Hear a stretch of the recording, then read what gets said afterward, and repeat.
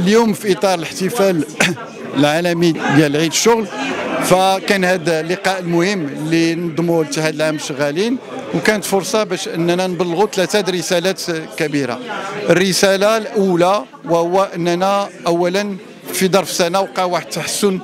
وعمل كبير اللي دار في إطار الحوار الاجتماعي لا بالنسبة لتحسين الدخل من الزيادة ديال الحد الأدنى للاجور لا من خلال كذلك القضية ديال المعاشات باش أننا عفينا كل 90% ديال المعاشات باش ما يبقاوش يخصوا الضريبة على الدخل وبالتالي وقع تحسن ديال المعاشات واللي وصل بالنسبة للقطاع الخاص 5% على الأقل وزيادة على المجهودات المبذولة من أجل خلق فرص شغل.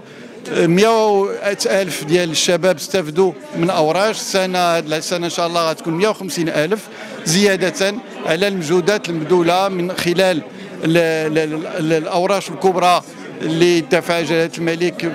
بالنسبة للاجهزه التحتية وبالنسبة للاستثمارات الكبرى اللي وصلت 300 مليار درهم زيادة على ميثاق جديد ديال الاستثمار اللي تيشجع على الاستثمارات الخاصة واللي تجمع الاستثمارات في الأقاليم. وهذه أول مرة أننا دفعنا في اتجاه ديال الأقاليم النائية. غيكون عندها دعم كبير لا باش الناس يجيو يستثمروا تما لأن حتى هذوك المناطق تيخصهم يستافدوا من خلق فرص الشغل وليداتهم كذلك يلقاو الشغل في المناطق ديالهم. اولا يحتفل الاتحاد العام شغالين المغرب بالعيد الأممي للعمال وأعتقد مناسبة لتقييم اولا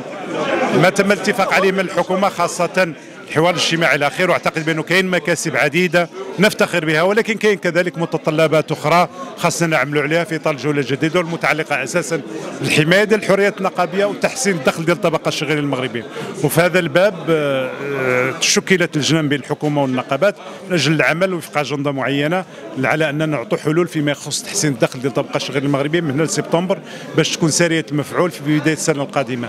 نعتقد كذلك بأنه مجمل الأشياء التي تحققت هي في صالح الطبقة الشغيلة المغربية بالرغم من الظرفيه الاقتصاديه الصعبه واللي كنطلب من الجميع التضامن وتكاتف الجهود باش نتجاوزوها الجميع للمصلحة العليا ديال المغرب والمصلحة الطبقة الشغيلة المغربية.